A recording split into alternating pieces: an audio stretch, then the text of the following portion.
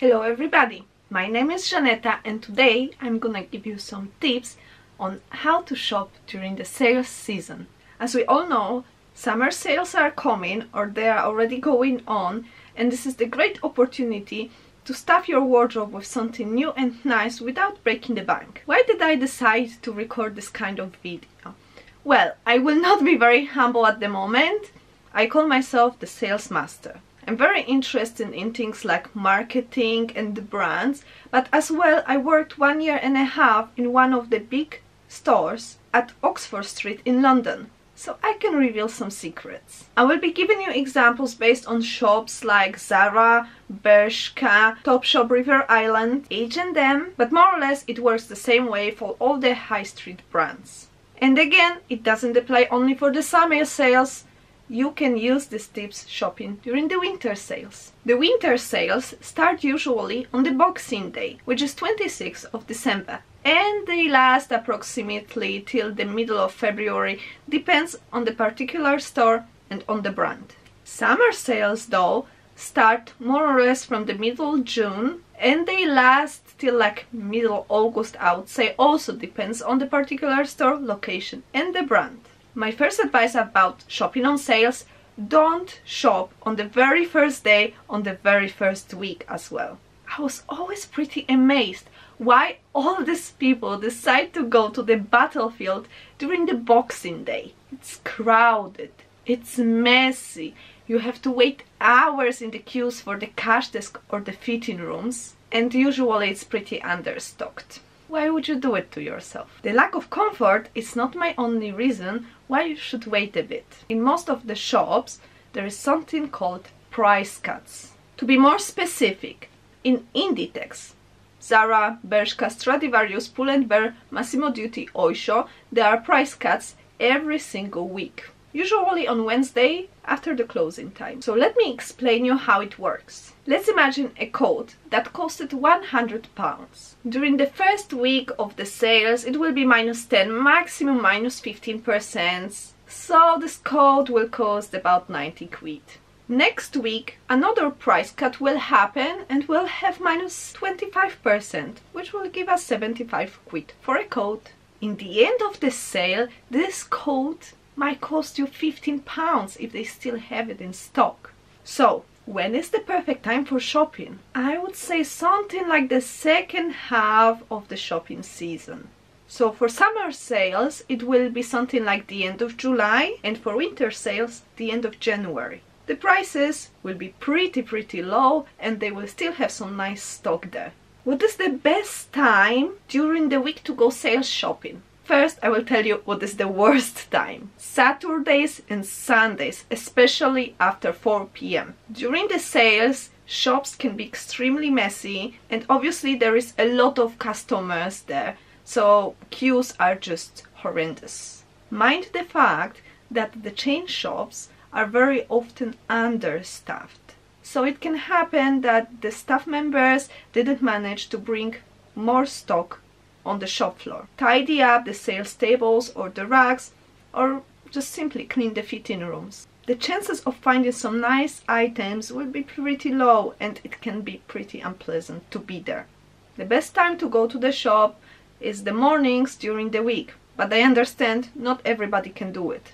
Well, you can still come after work. In Inditex shops, there are deliveries twice a week, Tuesday and Friday. So it means A, the shops will be more tidy and B, probably they got more stock also from the sales.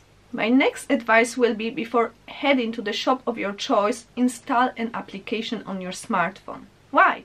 First, because it happens very often that items are not priced correctly. It means that, for example, the dress has the price of 15.99 on it, but in fact it costs 9.99 after the price cut. With the app, you can just scan an item and you don't have to ask sales assistant all the time to check the price for you.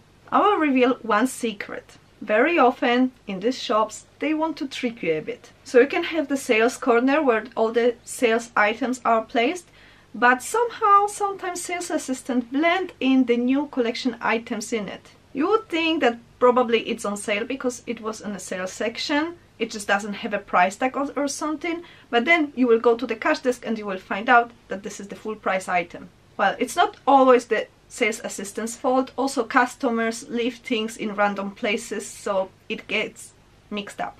Another thing is that new collection items are very often almost the same as the sales items, especially when it comes to basics, denim, t-shirts and so on. The only difference is the reference number. So have this application on your phone. Be smarter than them. The last tip about the application.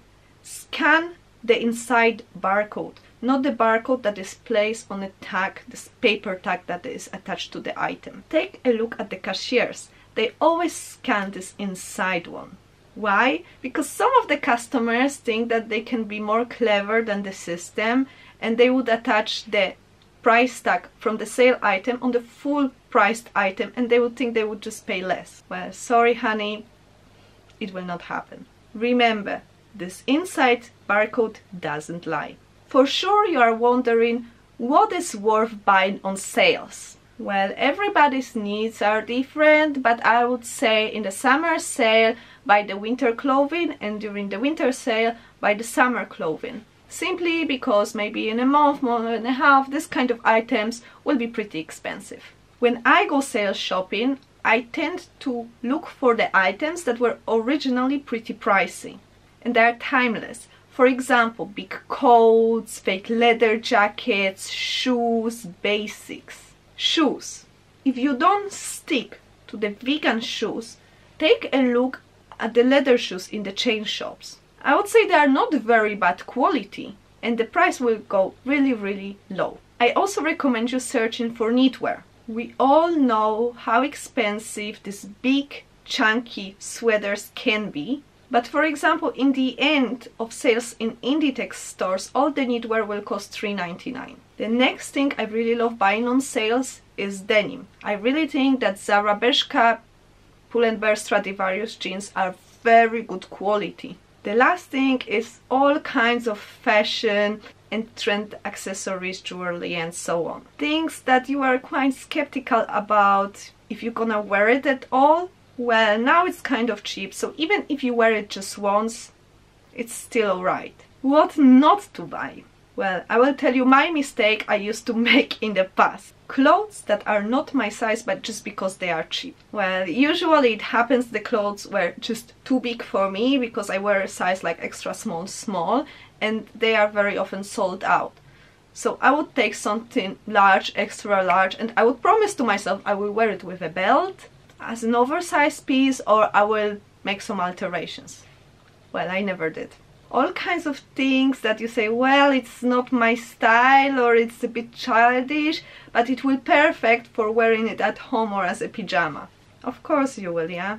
You will end up with half of your wardrobe stuck with these Mickey Mouse t-shirts and you will just forget about them. The last thing is all this kind of plastic costume jewelry. Okay, still depends on the person, but I used to buy all kinds of 10 packs of earrings or big statement necklaces and then I was forgetting about them, losing them, too lazy to put them on. Online shopping versus in-store shopping.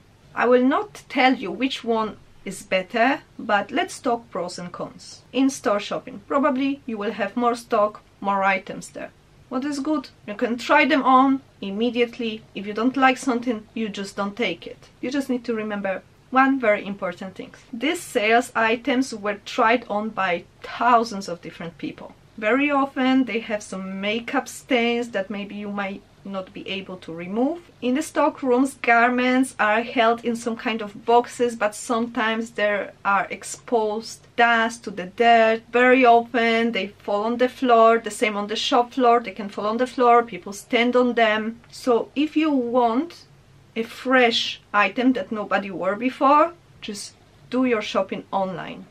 When it comes to the online shopping, it's great, it saves you a lot of time, but I've noticed that sometimes they have less stock online. I will also tell you my strategy of buying online. For example, I really wanted a specific pair of shoes from Zara. They were originally, I think, 120 pounds, but on sales they were 40 pounds but they just didn't have my size i signed up for the notification they so they should send me an email once my size is back to the stock but always when i got the notification it was too late what i did i opened the website on this particular pair of shoes and few times a day I was refreshing the website. Once I saw they are in stock, I bought them immediately. And guess what? They had another price cut and I bought them for 20 pounds. The last thing I want to talk about today is what to expect when you go sales shopping when it comes to the customer service. You know, it varies in each single country and also all brands have different inside policies, but I will explain it to you from my former workplace point of view.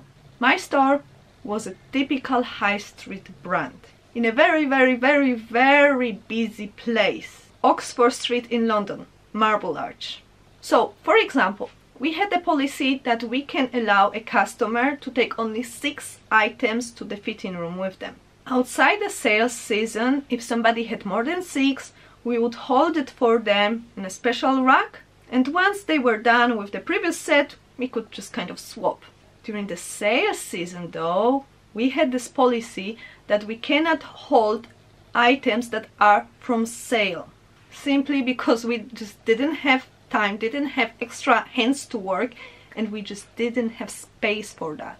A lot of customers were very angry at us, but well, we just had to do it. The same situation was happening with putting a hold for like 24 hours if you wanted to buy something later. Outside the sales season, you could do it, you could come to the shop, go to the cash desk, ask them to put a hold and the item would be waiting for you 24 hours. But during the sales season, it's impossible. I mean, with the full price items, it is possible, but with the sales items, we just couldn't do it because it was no space for that. Next thing is asking for a different size when you are in the fitting room. Sales assistants will gladly bring you another size of the item if it's the new collection. If it's sales, it's impossible. It's not because they don't want you to buy the cheap item. In fact, sales assistants don't really care what you buy. It's just because the new collection items are put in some kind of order on the shop floor as well as in the stockroom while sales items are all over and it's impossible to find something there. That leads us to another question which is do you have this dress in another size because I checked on your website and it says that you do. Can you bring it for me from the stockroom? Probably you will hear this answer. I'm sorry madam, everything we've got is on the shop floor and unfortunately the website is not updated. As I mentioned before, sales are a mess. And maybe we have this dress in size small somewhere, but we have no idea where is it. It can be somewhere under the table, it can be in some box in the stockroom, and there are 100 boxes in the stockroom which are just signed dresses. But what kind of dresses are inside and what sizes? We don't know. I think it's very important to understand that sales assistants are not against you and it's not impersonal. But sometimes there's just nothing they can do about it. They have to follow some certain policies and there is a lot of things to do that your manager tells you have to complete and obviously the shop is always understaffed. Be nice to one another. In the end of the day you are just buying clothes, not performing a surgery on an open heart. I think that's all for this video guys. I hope you enjoyed it as much as I enjoyed sharing my knowledge with you. If you have any other sales tricks, share it with us in the comment section down below. I would also want to ask you if you would like me to record a video, some kind of sharing with you my horror stories working in retail in London. Very important thing. I would be extremely happy if you subscribe to my channel. I upload every Friday and Sunday. And if you like this video, give it a thumb up and remember you can also visit me on my social media, Twitter, Facebook and Instagram. I hope to see you next time. Bye bye!